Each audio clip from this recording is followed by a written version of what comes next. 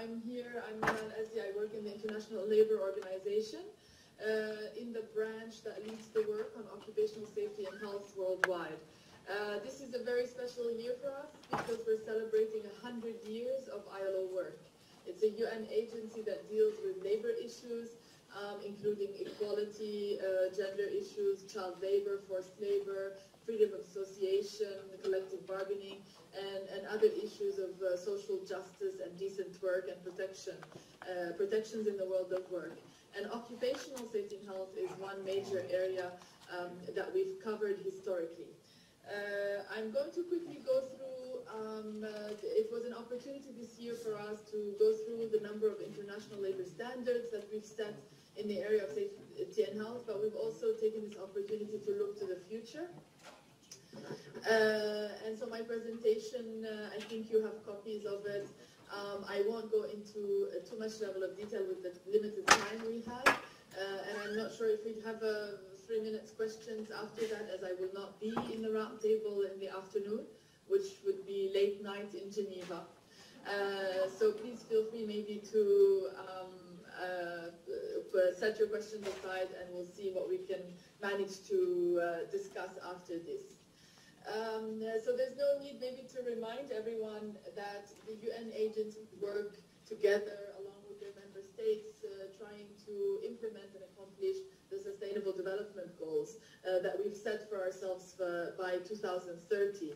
And the ILO mainly uh, uh, functions and reports back on the SDG number 8, which is on uh, labor and decent work and 8.8 specifically is on uh, providing safe and secure working uh, conditions and places.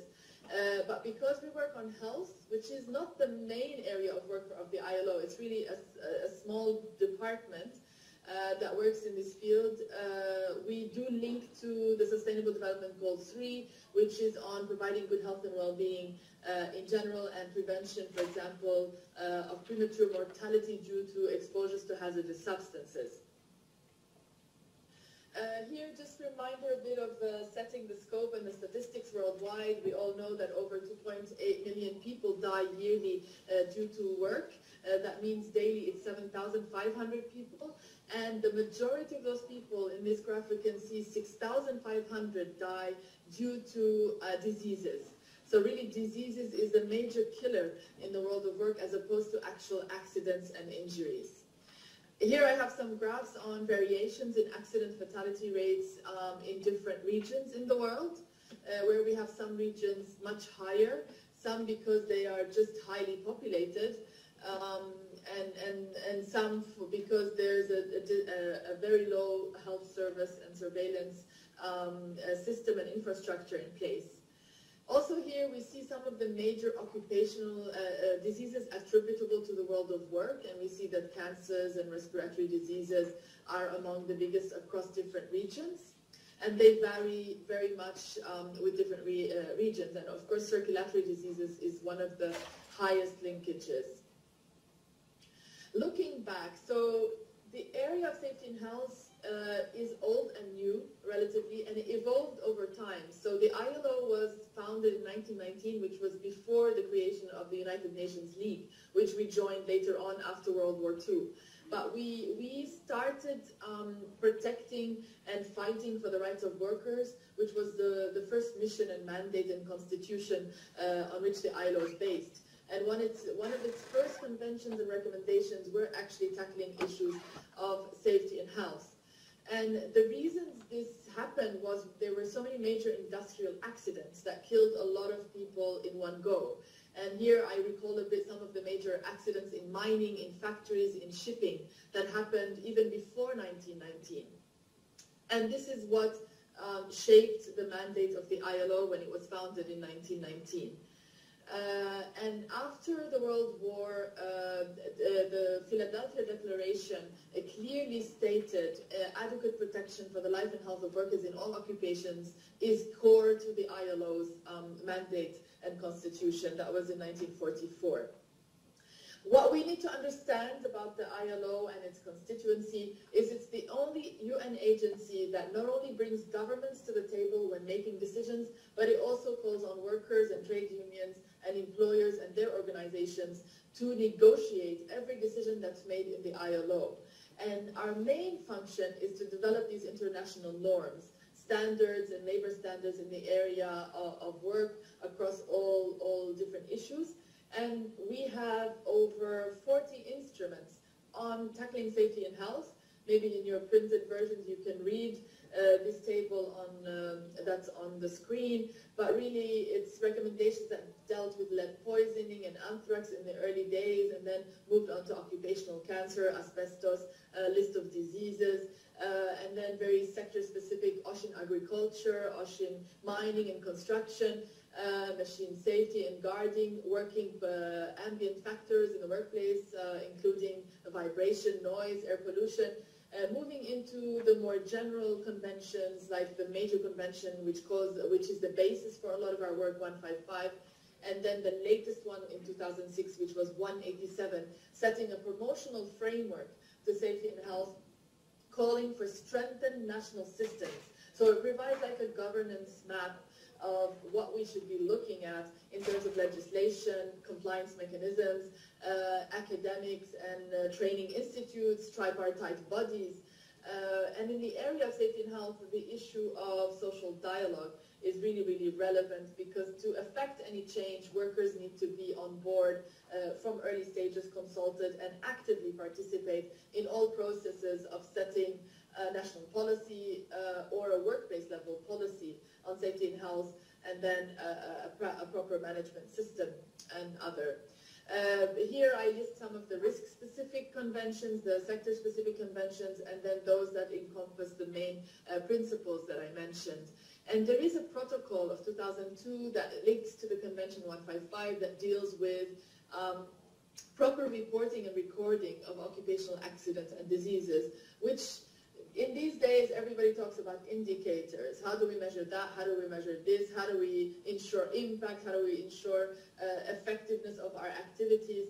And, and this is uh, um, uh, the only indicator really that we've been using is, you know, a decrease or increase in accidents at work, a decrease in increase fatalities, non-fatalities, or an increase in diseases, which is not always easy to measure if governments uh, don't have a system in place to re report and record accidents and diseases and report them to their relevant ministries and have proper registries kept up to date that are harmonized um, nationally across different, you know, social security uh, standards or hospitals or other services that actually collect data in this area.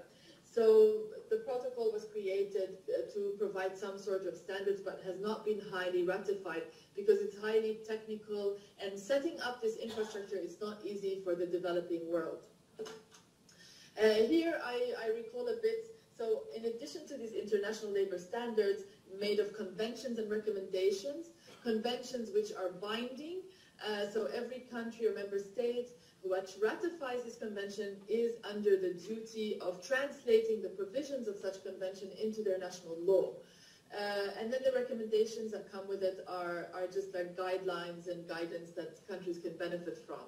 But in addition to this normative and more binding um, approach, we do develop codes of practice, which are highly technical, which take also years in to make, and also are based on tripartite discussions. So not all our standards are the most sophisticated ones and the highly, you know, um, uh, developed uh, uh, measures that uh, there are countries in the world that supersede um, the standards that we call on, but these are minimum standards and minimum requirements that the tripartite body has agreed on after negotiation and consultation, and that we think uh, this is the minimum companies and member states should be following. And these codes of practice cover various areas. And after World Uh, uh, World War One, uh, there were major industrial accidents also that continued to happen, including Bhopal in India, which uh, many of you have heard of, Seveso, Chernobyl, mining industry most recently, and the Rana Plaza in Bangladesh, where um, a garment factory completely collapsed.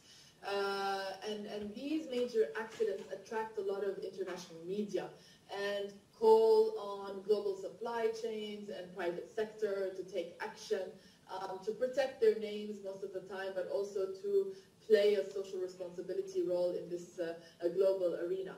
But because if you say that workers die every day in every place or suffer chronic diseases or suffer injuries that are not necessarily fatal, it's not as it's not a good advocacy um, tool uh, to change legislation or to invest resources. But these accidents, because they you know attract so much media, the deaths are you know once um, it's like an attack, it looks like an airplane crash they attract much more media, and we build on this to to encourage the world um, to provide better protections and proper legal frameworks and activities and, and trainings, etc.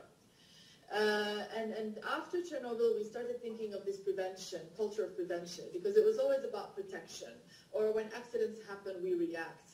And this culture of uh, preventing uh, things before they happen started to evolve uh, after the latest accident to see what is a sustainable way that we can actually um, prevent harm in the future. Um, and uh, we have so many different um, areas of work at the ILO. Obviously, the standards, codes of practice, and publications. But there are so many different fora where we have global campaigns, such as the World Day for Safety and Health at Work, where each year we celebrate a different topic.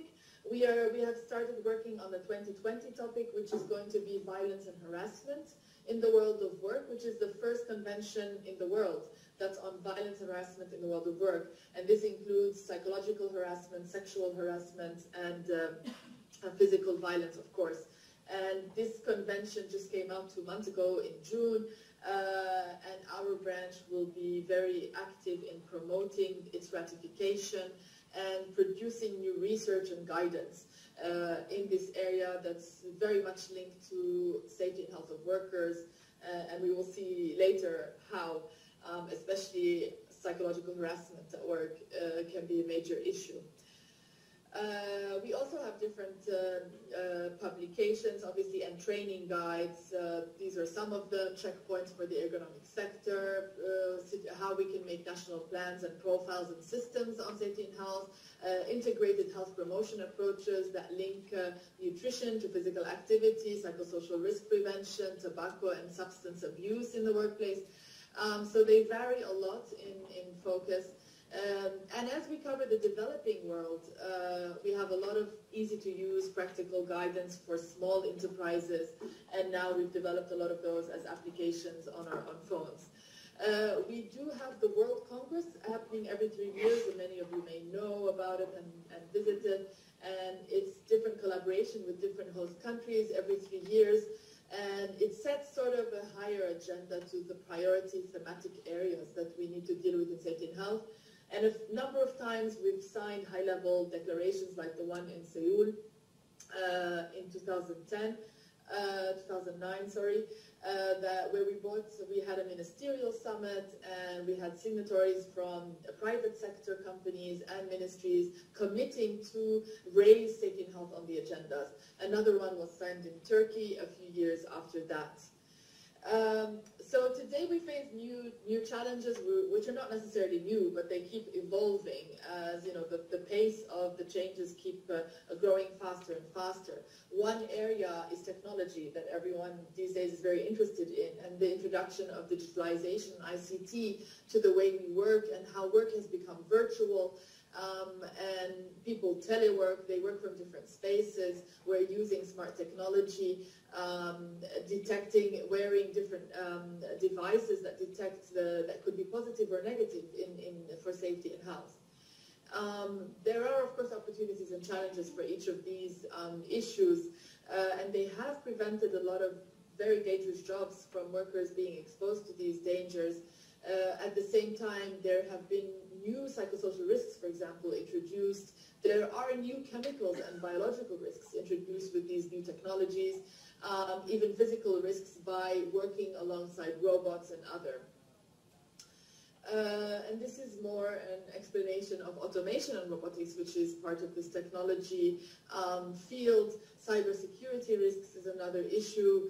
Um, and then this reliance on automation um, can cause um, lots of uh, unanticipated risks, uh, ergonomic risks in the way we work, and, and they are very, we used to have ergonomic risks, now they're very different in the way we sit and work and musculoskeletal diseases that may arise from all these exposures. Um, and again, for robotics and, and uh, automation, there are similar opportunities and challenges, and we need to be able to make the most of these technology and not shy away, of course, resist, uh, because this is happening, whether we like it or not. There are so many questions that relate to the social welfare of workers, of course, the question of uh, workers being replaced or not, or um, by these technologies or how best we can actually use them to our benefit to protect the health and support the health of workers. Nanotechnology is another area. It's nothing new, but it's used more and more. Exposures are not yet detected as we would like. Um, a lot of different production lines now rely on uh, nanotechnology, and we know very well the health impacts, including um, oxidative stress and inflammation and really uh, dermatological damages and other tumors that may arise to exposure um, to nanoparticles. And so that is another area that you know research institutes need to be looking closely at, and they have. Um, but again, a lot of our work is trying to make sure that the developing world is up to date and that we don't outsource uh, the waste we produce in, in developed countries to the developing world. Another major issue that's changing worldwide is obviously demographics. Uh, the workforce is changing. Um, in the years ago, women were not part of the workforce, and now they are, and that has implications on work-life balance, on families, and and, uh, and also on the risks that could um, have uh, negative effects on reproductive health and other. Uh, young workers and aging workers require very specific, obviously, attention um, young workers also are much more vulnerable to many of these risks, uh, have, don't have the expertise or necessarily the training and competence, and uh, are willing to take a lot of risks, uh, sometimes just by the virtue of being young. Uh, and older workers have different needs to stay in the workforce. Um, and, and suffer more uh, medical issues that need to be, and the workplace and uh, uh, workstation need to be, needs to be accommodated uh, to adjust uh, to the various needs of, of these uh, uh, older workers. Again, uh, gender is another issue, and while more women have entered the workforce, there continue to be obviously unequal wages and other issues that um, make women practice more uh, diverse forms of work and uh, temporary employment and precarious types of employment uh, to be able to manage the home and the workplace, um, which does not necessarily reflect uh, great on their health. Migrant workers are another population we look into, and they are on the increase, and um, they have less and less rights um, in some countries, and they have less access to information in a language that they actually understand. Um, they have less protections and, and legal coverage in a lot of the, the legislation in a number of countries. And they tend to be in the dirty, dangerous jobs that nobody else wants to do. Uh, moving into sustainable development, that's also had an effect on safety and health. So climate change, air pollution, and environmental degradation are something that the ILO also is looking uh, at, and these changes uh, are quite considerable. Uh, well, some of them are have always been there for people who work in tropical areas. Obviously, people who work on construction sites in um, areas like the Gulf countries where heat is an issue. And, and the way to manage that um, is really dependent on the national policies and regulations in place and then the compliance mechanisms that come with that in terms of uh, taking breaks, and, and how much heat stress can play a bigger role in affecting other occupational exposures that you would have had in making them worse. Obviously, we've heard of the higher temperature increase in the next century, uh, and that will, for us, it's an economic issue, obviously, because there will be an increase in loss of jobs, um, uh, but also a change in jobs that people do, and then a greater effect on their various occupational exposures and the burden that they will be carrying.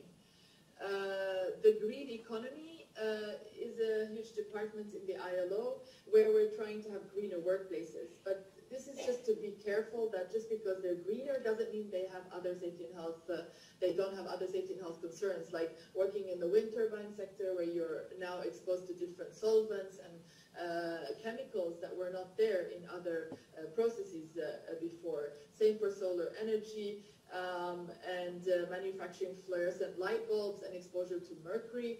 Um, recycling, e-waste, and the various exposure across the e-waste chain.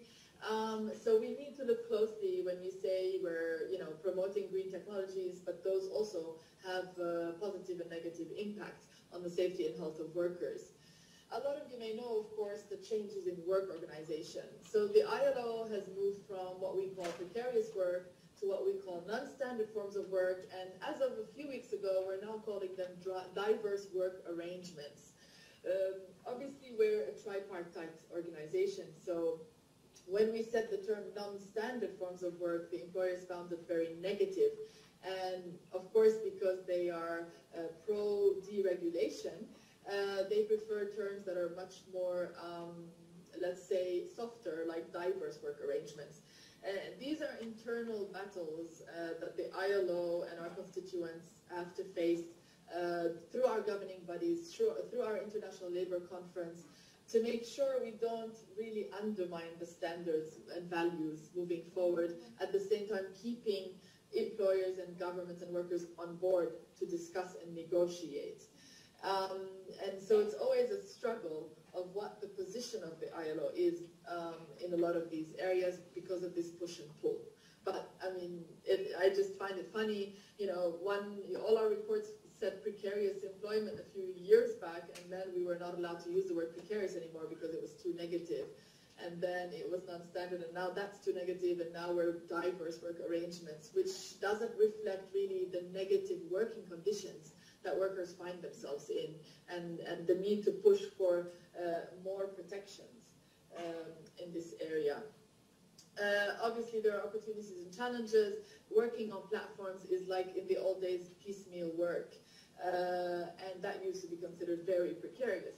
And now it's just, you know, it's sold as the next best thing because now women, for example, can work from home and, and juggle 500 things and they actually can have access to work, which they couldn't because they didn't have childcare or family care um, uh, support.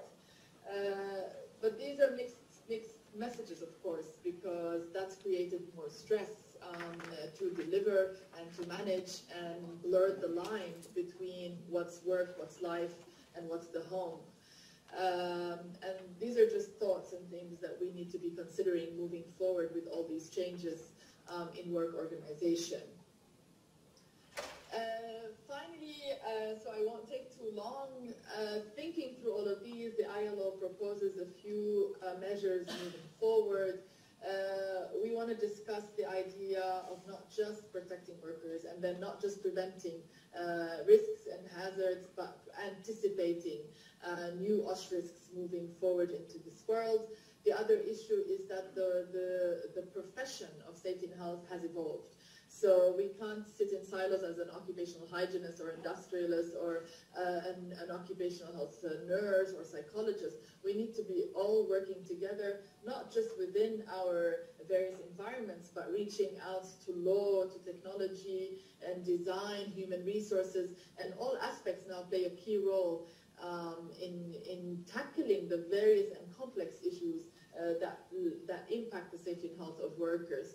Uh, but also there's a continued need to build competence. We see in the developing world, sometimes it's just a lack of knowledge, the lack of understanding that small changes or housekeeping even changes can make a big difference in preventing uh, accidents and risks. And, and, trainings in the right way, at no cost, at the right time, can make a big, big difference. Uh, and we've sort of lost that competence uh, in many contexts in the world of work, and, and we feel that mainstreaming, this is nothing new, uh, issues related to safety and health, even at the school level, and vocational training is essential. So that slowly it does become a culture of safety, and not that we, only professionals on OSH understand what that is. And even internally at the ILO, there's a lot of ignorance to what, so people use the term OSH, you know, as if it's a table, a, a door, but nobody understands what's behind this field that's huge. So it links to public health, it links to uh, diseases, it links to engineering, it links to so many disciplines, and especially today, mental health at work and human resources and management and law that needs to uh, manage these issues are critical uh, for the workforce to continue in any sense, in any sustainable way, because it's very easy to have everyone work 20-hour shifts and be connected to their phones all day and then lose them within a year, lose your expertise, having to train others, um, uh, and then having that cost on your healthcare. Uh, so th this long-term thinking is very absent because it's not something you can see directly and it's not something linked to the process of production and profit directly. So the first jobs after the crisis in 2008 to be uh, removed uh, or made redundant were safety and health professionals that were seen as something secondary to the profit machine. So linking to public health is another area we're considering and uh, the reinforcing our international labor standards and promoting ratification of these standards that do provide a really minimum uh, standard of protections and preventions for workers worldwide. Uh, and working with private compliance mechanisms uh, and public uh, uh, across the supply chains is very important reminding of the duty of bigger companies to support smaller companies, of uh, people who trade across the world and the various standards they need to abide by, even if it's in countries that have lower legislative requirements. Uh, and we would like to continue to reinforce the role of workers and uh, governments uh, in moving this issue forward, of course. So um, I, this, this, is just more explanation you have in your uh, presentations, I guess, uh, detailing each area and how we wish to go about uh, working on it. Um, a few things I wanted to mention uh, moving forward also is that the ILO uh, in its International Labour Conference 2016, 2019 this June uh, just adopted a declaration. So we don't adopt declarations every year. It's a big thing. Um, and it was a declaration on the future of work. And in that declaration, we recognize that safety and health is fundamental to decent work. And we also recognize the basic protections include uh, minimum wage, adequate wages, uh, um, non-excessive working times, uh, and safety and health are the labor guarantee package that the ILO will be promoting. Um, we, this is also another problematic area, and internally there was no agreement to announce safety and health as a fundamental principle and right at work. It was hours and hours and nights of discussion. We thought it was going to go positively, but it didn't. But fortunately, next to the, uh, like in addition to the declaration, there was a resolution that our governing body in the coming year and months is going to discuss how we can make safety and health a fundamental principle right at work, which has many implications and which then uh, allows that each member state, by virtue of being a member state of the UN, of the ILO, will have to make progress in the area of safety and health and report back yearly on the progress made in the area of safety and health. So it is a big deal because the other areas that have been considered fundamental, like freedom of association, elimination of child labor, non-discrimination, and forced labor uh, elimination, have taken a higher, you know, they have received more resources, have taken a higher level of commitment on political agendas worldwide by virtue of being a fundamental principle, recognized as a fundamental principle. So this is a struggle that we would need support from all member states moving forward um, in, in recognizing, which for me is a basic. So if you don't have the right to life, the right to health, you cannot enjoy any other rights. So it is the foundation, but there's always resistance from employers because it requires, in their opinion, much more resources to be put in this area and much more regulation that they would like to avoid, obviously. So it's a process of working together with our constituents to, to move this issue forward. There are so many other issues, but I guess, I mean, this is, uh, you, I'm happy to receive any questions eventually or even through email. And I'd like to thank the organizers, uh, everyone, and the universities uh, for being patient and listening to us. And I apologize again that we cannot be present in person, which we would have liked. And uh, I say hi to all the other speakers, a lot of whom I know very well. Um, and that's it. Thank you.